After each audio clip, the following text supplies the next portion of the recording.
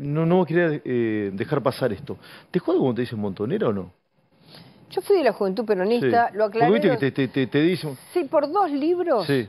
por dos libros, dicen que son fuentes de los libros. Igual, yo asumo lo que hice.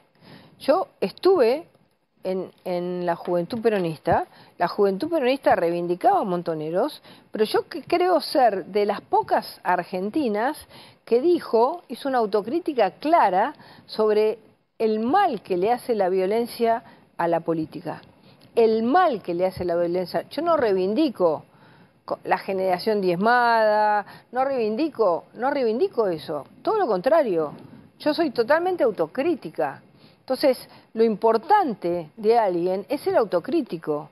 Como Mujica, que fue presidente de Uruguay y dijo, yo no quiero volver al pasado. Y fue el, el voto que impidió que en Uruguay se abriese el pasado. O como Miguel Bachelet, que le mataron a su padre y dijo, yo no tengo rencores. Mm, Yo sé que ah, muchas veces gobiernos que no pueden proyectar el futuro quedan anclados al pasado. Y no creo que sea un tema central de los argentinos, pero te lo quiero preguntar, aprovechando la gentileza de venir a hablar con nosotros. ¿Hay que discutir el número de desaparecidos o no? A mí me parece que lo que no podemos decir es o decís 30.000 o sos Claro. un traidor a la patria.